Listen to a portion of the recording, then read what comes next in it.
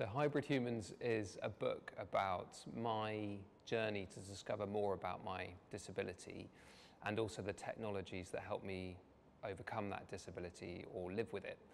Uh, and in the process of writing it, I went off and met lots of different people who interact and interface with different technologies to either overcome or live with or adapt to their disabilities. So, it's really a book about how technology can help us be more human, I think.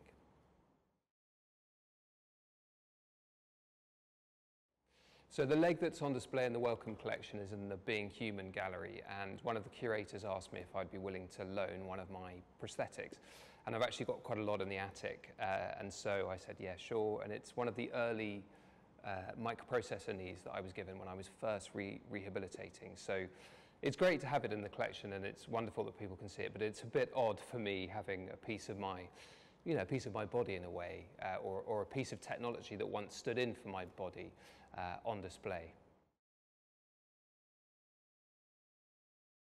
One of the most remarkable things I discovered researching hybrid humans was how some of the most up-to-date and latest technology that we're implanting into people, like bionic eyes or some of the latest cochlear implants, how when we read about them, they seem like these, these amazing technologies that, that um, change people's lives, and they really do, but also those people have to live with this technology and monitor it and make sure it doesn't get infected and that the body's not rejecting it. So it was those things that I think the sort of the balance of when it's worth putting these things into people or not, I think that was the most interesting thing I discovered.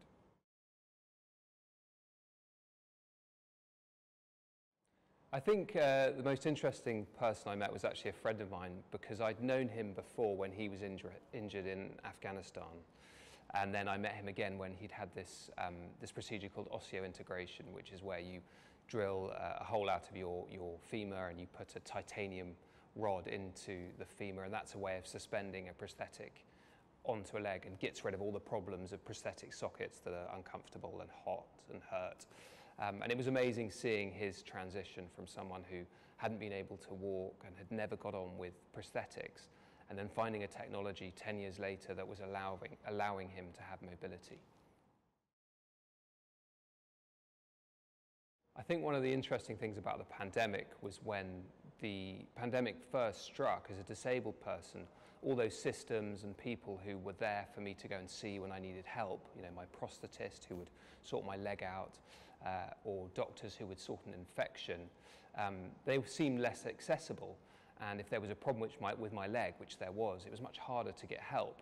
And I think that, that, that created far more anxiety in me, but also made me very aware that it's not just about the prosthetic itself. There's a whole system of institutions and medtech organizations and researchers who are all part of the technologies that help people overcome their disabilities.